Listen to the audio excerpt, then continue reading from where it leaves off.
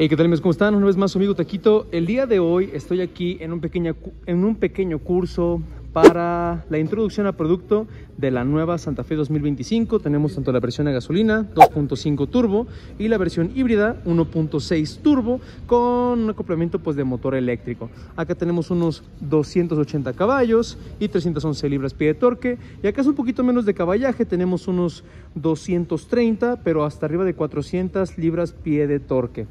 Esta pues no es la unidad que vamos a tener aquí disponible para México con los colores claros, no va a llegar, va a llegar con colores negros, pero lo que sí viene son pues estas enormes pantallas tanto del clúster como del infoentretenimiento. Eh, los nuevos cambios del shift aquí en palanquita, que de hecho me encanta, la verdad se siente muy bien. Tenemos el nuevo volante con la H en código Morse, hay un montón de H dentro del diseño. Sistemas pues avanzados de asistencia a la conducción, lo que ya conocemos de la marca que es muy bueno.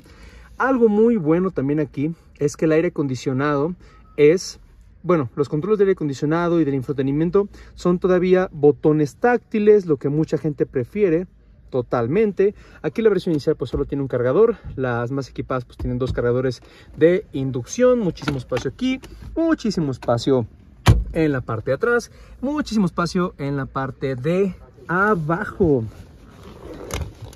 También aquí pues el asiento eléctrico bastante completo, paletas de cambio al volante, un espacio de almacenamiento aquí, otro acá y otro pues acá. Los acabados son bastante bonitos. Tenemos materiales suaves, material suave. También el volante se siente forrado en piel bastante bonito. Material suave, material rígido, material suave. El freno de mano eléctrico aquí, del lado izquierdo. Y si paso para la parte de atrás, tenemos un espacio inmenso.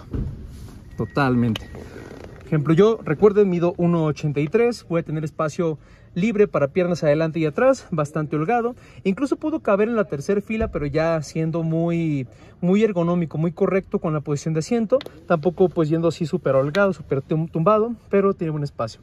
Aquí el descansabrazos bastante blandito, bastante bien.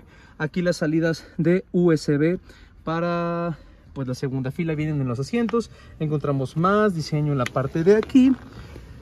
Y también lo que ya por fin incorpora esta camioneta, la tercera fila de asientos, por fin la tenemos de vuelta en la Santa Fe. Control independiente para la parte de atrás del aire acondicionado, bastante bien. Y si me voy para atrás, vamos a ver un poquito más del diseño que tiene, ahí las calaveras en la parte de abajo, muchísima superficie para poder echar arriba equipaje, la cajuela pues obviamente eléctrica, vean cómo abre a una velocidad normal. Y aquí tenemos pues obviamente con las tres filas puestas tenemos poco espacio. Tenemos una llanta de refacción pues en la parte de abajo de la camioneta que es muy importante. La versión híbrida no tiene la llanta de refacción tiene un kit de reparación de llanta para que lo tomen en cuenta. Pero cuando ya tumbo aquí la segunda fila encuentro una gran cajuela como ya la tenemos con Santa Fe. E incluso pues puedo abatir desde aquí la parte de adelante para tener ya un espacio completamente plano y completamente enorme amigos. Este color pues es nuevo. La versión inicial va a venir en dos colores mate que es este como color cafecito y la más equipada solo va a tener una que va a ser de este color. La otra pues sería gris pero solo para esta. La híbrida no va a contar con el color gris mate y si pasamos a esta que es la versión híbrida, la equipada, ya con unos interiores negros, podemos ver aquí la iluminación ambiental preciosa que se puede configurar en diferentes colores. Aquí ya tenemos el doble cargador, el mismo espacio en la parte de abajo, las mismas pantallas. Realmente en la parte dentro no cambia mucho con la versión inicial a gasolina, pero el espejo retrovisor es una cámara, miren. Es una cámara. Tenemos el doble quema cocos enorme en la camioneta. Seguimos teniendo pues una iluminación ambiental en las puertas de la segunda fila. Vamos a recorrer esto. Realmente pues no, es tan complicado hacer estos ajustes, viene muy fácil.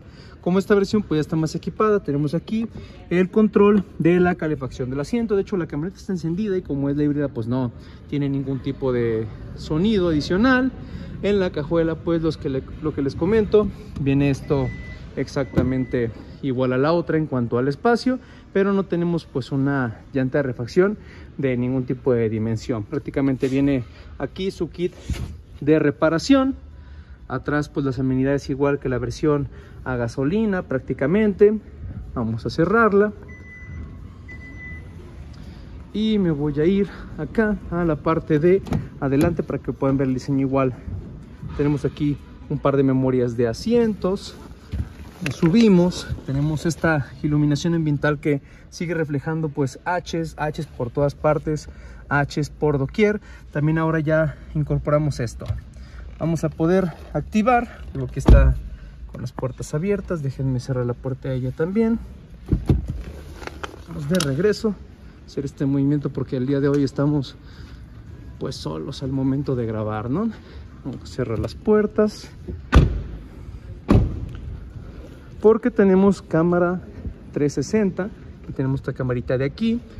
Pero lo padre de esto es que cuando yo ponga la direccional izquierda o derecha pues voy a activar la cámara, ¿no?